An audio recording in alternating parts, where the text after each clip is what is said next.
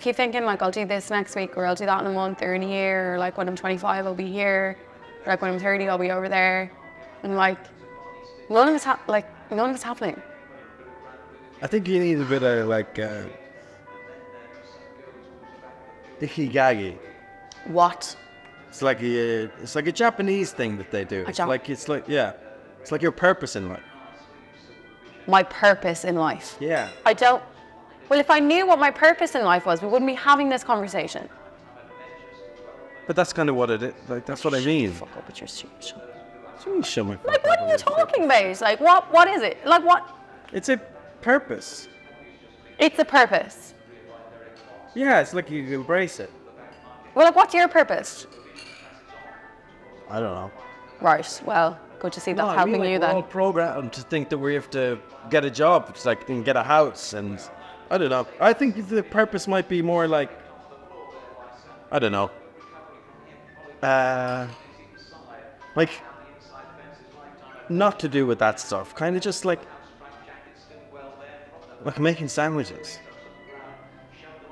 Making sandwiches. Yeah, stuff on the side, like So, not stuff on the side of the sandwich. I mean, like stuff on the side of your job, like of your like main things, like cutting the grass and kind of embracing like like going out and looking around at the gobshites and fucking, you know, kind of just living in the world a bit. You know, I think it makes you live longer.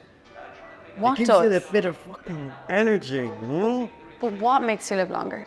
Like sa- just doing stuff.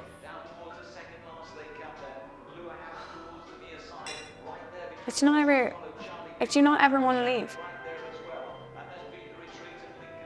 It's not something that ever like. Just don't really give a fuck about it, like you know.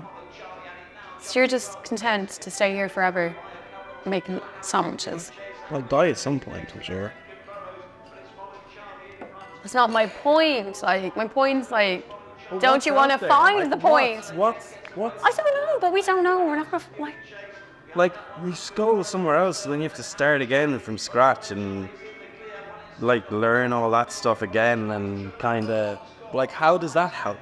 Like, Like, yeah, how does that? Is it? yeah, but there has to be more than this. There is, but is it any better or? I don't know.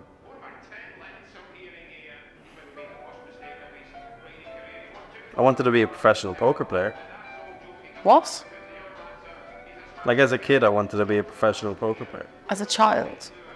Well, there was a competition in fucking town, and I went down there, and I was just I worked a weekend job, like collecting glasses, and got like fifty euro a weekend, which was the exact like registration fee. Threw it in. The bus driver, my school, the school bus was like he was locked, and he was just I don't think he knew what he was doing. So I called him, and then he put down a seven and eight, and out of nowhere, it was like a terrible hand. And He's just got a fucking straight, knocked me out. So, but I went home with 200 euro and a DVD player.